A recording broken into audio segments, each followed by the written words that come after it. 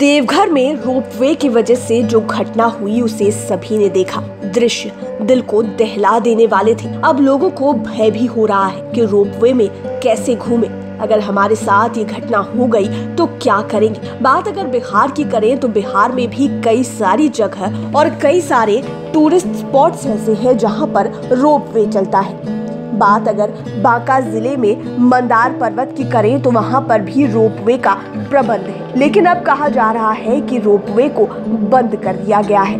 क्या ये देवघर वाले कांड की वजह से बंद हुआ है या फिर कोई और वजह है? आपको विस्तार से बताते हैं। बौसी के मंदार तराई स्थित रोपवे पिछले पाँच दिनों से स्टाफ की कमी और बकाया भुगतान को लेकर अब तक बंद है। प्रतिदिन दर्जनों की संख्या में सैलानी रोपवे के लोअर स्टेशन समीप से निराश होकर लौट रहे हैं। हालाँकि, आरआरपीएल के साइट इंचार्ज मनीष तिवारी के नेतृत्व में मेंटेनेंस का काम प्रतिदिन चल रहा है, लेकिन ट्रॉली पर पर्यटक को बिठाकर पर्वत शिखर पर ले जाने का काम पूरी तरह से बंद है। बताया जाता है कि आरआरपीएल के द्वारा यहाँ काम कर रहे कर्मियों को करीब दो महीने से वेतन भुगतान नहीं किया गया है, जिसकी वजह से चार कर्मी छुट्टी पर चले गए। आरआरपीएल के एग्जीक्यूटिव डायरेक्टर विप्लव दास के अनुसार राइट्स के द्वारा एक करोड़ चौरासी लाख रुपए का भुगतान अब तक नहीं किया गया है। आपको बता दें कि रोपवे निर्माण का काम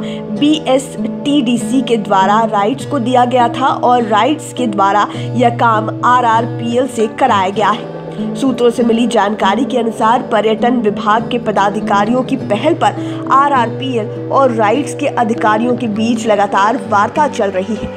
उम्मीद जताई जा रही है कि एक दो दिनों में रोपवे का परिचालन आरंभ हो जाएगा और फिर से दूर दराज के साथ साथ ज़िले से आने वाले सैलानी आकाशीय रज्जू मार्ग के ज़रिए पर्वत शिखर पर भ्रमण को जा सकेंगे। दूसरी तरफ़, गर्मी की वजह से इन दिनों मंदार में सैलानियों की संख्या में भी कमी हो गई है। इस संबंध में पूछे जाने पर रोपवे के पर्यटन विभाग के प्रबंधक दीपक कुमार ने बताया कि छुट्टी पर गए कर्मी एक दो दिनों में यहाँ पहुँच जाएँगे और जल्द ही रोपवे संचालन का काम आरंभ हो जाएगा।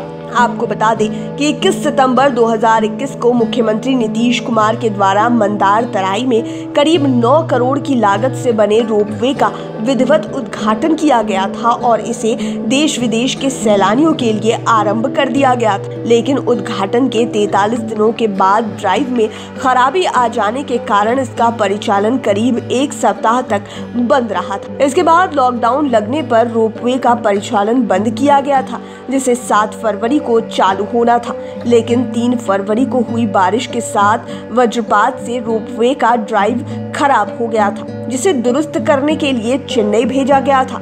करीब डेढ़ महीने के बाद चेन्नई से ड्राइव आने के बाद इसे आरंभ किया गया था। रोपवे बंद रहने से यहाँ आने वाले टूरिस्ट को भी निराशा हो रही है, जिसके कारण पर्यटन विभाग को राजस्व का नुकसान भी पहुँच रहा है। लाइव सिटीज़ की डेस्क रिपोर्ट अगर अभी तक आपने हमारे चैनल को सब्सक्राइब नहीं किया है तो ज़रूर कर लें। ये वीडियो फेसबुक पर देख रहे हैं तो पेज को लाइक करें। साथ ही साथ हमें ट्विटर पर ज़रूर फॉलो करें।